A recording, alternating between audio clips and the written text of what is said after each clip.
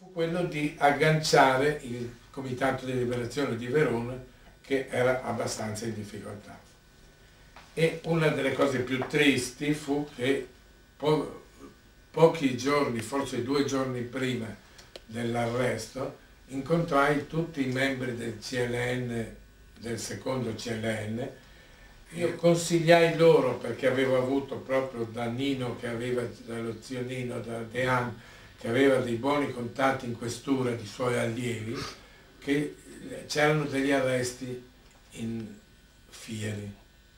E nessuno o ha voluto credermi o nessuno ha ritenuto di dover scappare. E quindi tutti sono stati presi e il CLN è sparito. In, in una notte, credo in un giorno, insomma.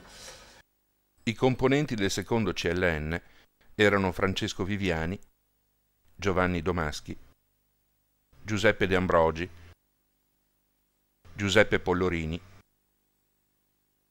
Giuseppe Marconcini, Guglielmo Bravo e Angelo Butturini. Vennero tutti deportati in Germania, nessuno di loro si salvò.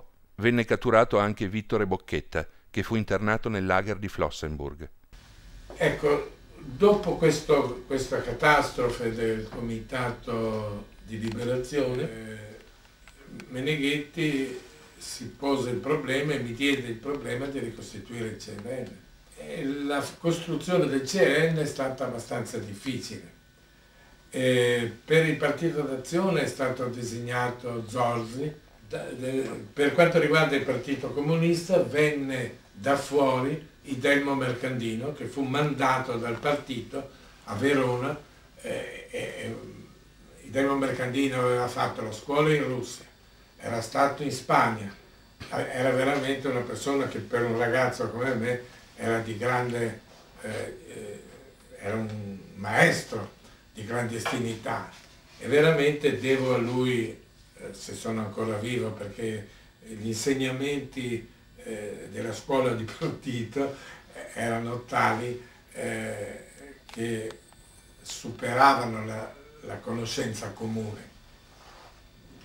Poi venne da fuori ancora Goffredo Loprieno per il Partito Socialista. Come vedete eh, era un CLN che con Verona aveva poco a che fare perché eh, io ero un ragazzo, eh, Zordi stava chiuso in casa, e, i socialisti e, e, e, comunisti erano importati. Io avevo molta amicizia a monte durante il periodo eh, del liceo con eh, Giorgio Zanotto che era presidente della FUCI, eh, fin a, allora credo, però non avevo amicizie radicate nell'ambito eh, veronese se non con Monsignor Grazioli che era il mio professore al liceo e che mi eh, aiutò insieme a Zionino in alcuni momenti difficili perché ho avuto dei guai durante il periodo liceale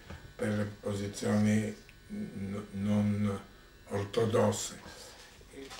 In realtà l'ambiente cattolico veronese non voleva eh, mischiarsi con la resistenza. I vecchi popolari erano tutti eh, eh schedati e seguiti, quindi l'ambiente antifascista cattolico veronese no, non voleva entrare in rapporto eh, diretto, perché sarebbero stati arrestati rapidamente.